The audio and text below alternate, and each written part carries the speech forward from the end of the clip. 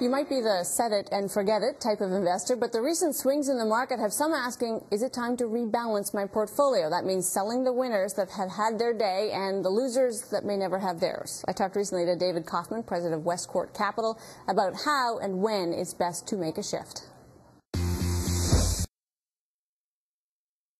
Now is definitely the time to rebalance if, first of all, you were lucky enough to be in U.S. equities last year because a lot of Canadians are very Canadian centric in, in their focus, and so they end up being more sort of TSX focused, more resourcey. And so uh, 2013 was not the year for Canadian equities that it was in the U.S. This year has been pretty good at the start of the year, so it's the same issue you start at, let's just say 60 40, the traditional 60% equities and 40% bonds. Bonds sort of stagnate, maybe even lose a little bit of money because interest rates go up. I'm talking about on paper. Yeah. And these equities go up, up, up, up, up. So what starts at 60 40 can end up being more like 65 35 or even 70 30 just because you have one going up so much faster than the other. What's wrong with that? Uh, as you look at, at, why you have a 60-40 portfolio in the first place, it's that you want part of the portfolio to be really conservative, sort of a ballast against the more volatile equities. And when you get out of whack, you do have the potential to make even more money because now 70% of your money is in equities. But that also means that if the axe were to fall, that the cut would be even deeper. So as hard as it is to consider selling your winners because they've gone up, up, up, yeah. these profits aren't real until you actually sell something.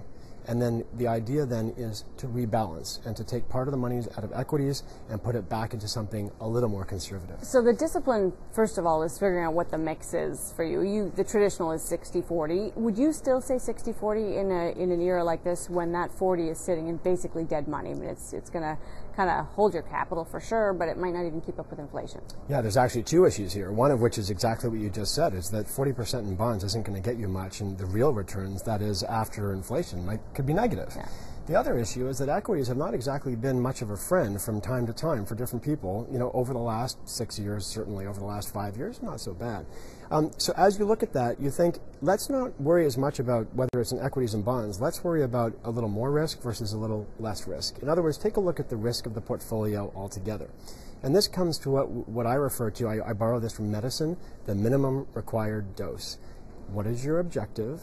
Take the minimum amount of risk required to achieve that objective. And we all know that equities are riskier than many other investments. So you don't want to overload on equities where, yes, the returns can be highly positive, but we also know that the returns can be highly negative, and, and that can happen very quickly.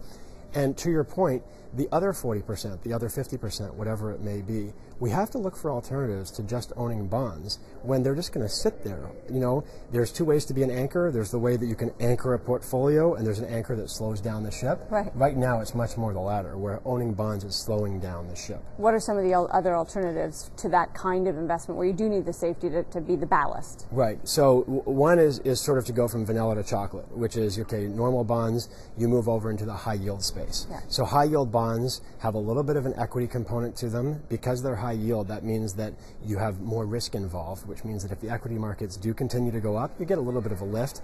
But because of where you are, as they say in the capital stack, that you're not, you don't own equity, you're very likely to get paid back.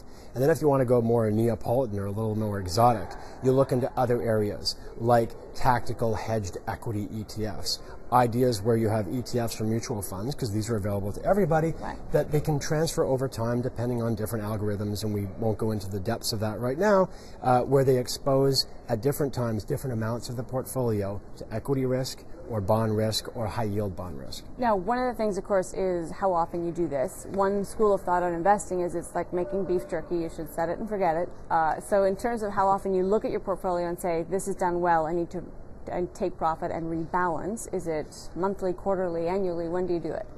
You know, it's a little bit like flossing. It'd be nice to do it more often, but few of us do. So the short answer is probably now is a good time because I doubt that many of the mm-hmm. viewers have done it any time recently.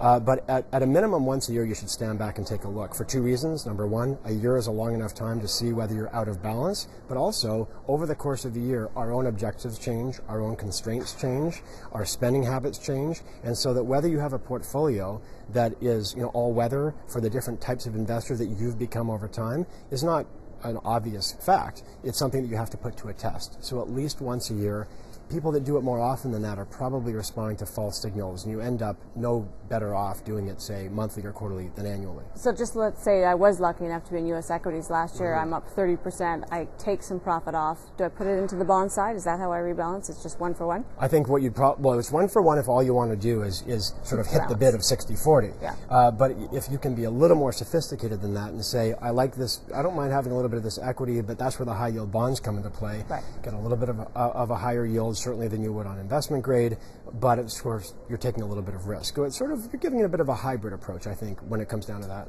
All right. Thanks. Thank you.